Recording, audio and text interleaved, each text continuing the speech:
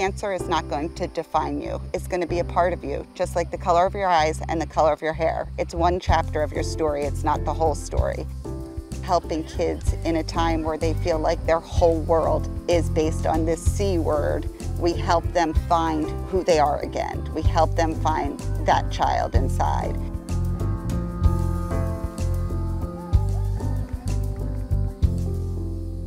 Growing up in Moorestown in Burlington County was a great experience because it was a very small town and it was very safe and neighbors looked out for one another. The summer entering fifth grade, I started to have seizures and we soon found out that I had a brain tumor and would need immediate surgery. So that summer quickly went from plans as in spending time with friends, having to shift gears and plan for hospitalizations and surgery. It really was an impact both not just on me, but me and my entire family. Be kind to one another today. Just the single key for camp, please. It's the single one hanging. I started to think about how I could impact families through providing experiences such as camp. In 1995, we started camp here in Burlington County. So what's very unique to Camp No Worries is that we host patient siblings and bereaved siblings all in the same week. And that is something no other camp across the country does. My brother and sister were 100% the inspiration of having siblings join us at camp because I distinctly remember the questions of why does my summer change too? Oftentimes, they feel responsible for the safety and inclusion of their brother and sister. And we can have counselors out here that tap them on the shoulder and say, hey, I've got that this week. You can just be a kid.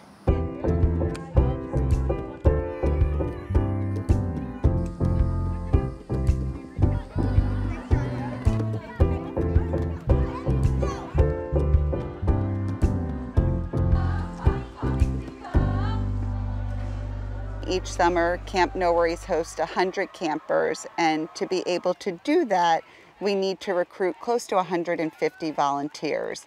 We don't charge families to attend camp, so we work solely on donations, and we don't want any child to ever experience a lack of opportunity based on financial needs, transportation needs. This is all our community believing in the need and strength of camp. They're not a patient, they're not a sibling, they're not a bereaved sibling, they're kids and they're campers.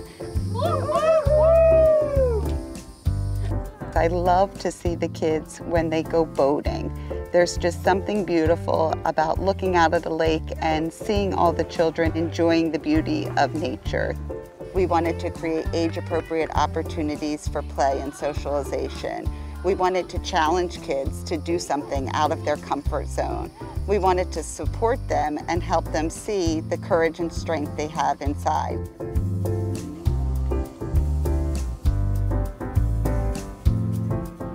So I think when they come to camp, they quickly recognize and become so very comfortable knowing that they don't have to explain their day to day. We are a no filter kind of camp. Campers will recognize whether a child has a special need or limitation and without adult guidance, find ways to include them in activities. And it just happens naturally.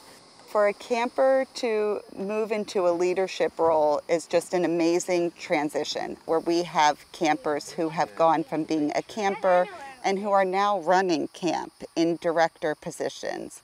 All right, where's my youngs at? The supporters for Old Boys A you have two. Ryan T, who's also in middles, he is a survivor.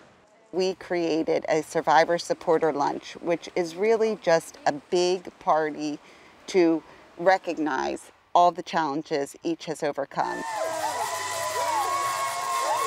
Now to all the survivors, please stand up. People need this. I think our campers need it. They see a counselor, someone they look up to, a role model, and know, wow, he or she had cancer too. And now look, they're in college, they're a teacher, they're a mom. It may help answer some of those questions they're afraid to ask about their future.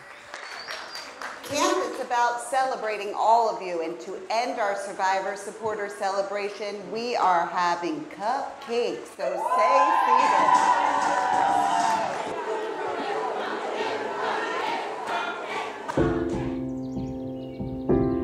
We always recognize those campers who have not survived the disease and we engage in a memorial service for our campers and counselors just to remember our friends and recognize the impact they had on our lives.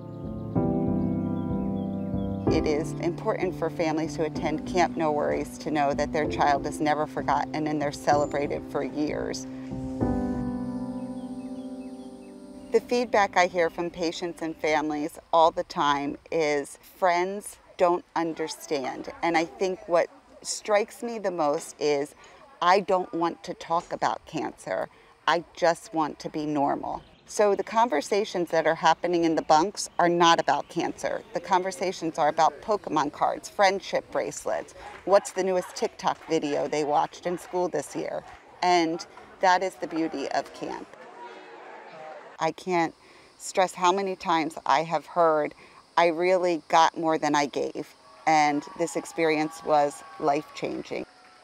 You've not only impacted the lives of the campers, but you've impacted the lives of volunteers. We also have people we meet along the way who say, Oh gosh, I could never do that. It must be so sad. And I say to them, You know, next year, why don't you come out to one of our visitor slots and see what it's like? And I see those faces transform as I'm walking them through camp. People don't realize until you're out here and immersed in camp how normal camp is. Where I live has had an overall impact on how I live because I know how fortunate both I am and how fortunate my family is to live in such a close-knit community. I want other children to have those same opportunities no matter where they're from in New Jersey. I hope that the children who attend camp today continue to have a passion and love for camp and will carry on the legacy of camp. To be able to take a fragile child, bring them to camp, and see them leave with a different understanding, more confidence, a stronger sibling relationship, whatever little piece we give to them that they can carry through the rest of their lives, that's what we hope to do, to make just a little difference in one chapter of their lives and build their hope, their friendships, and their story.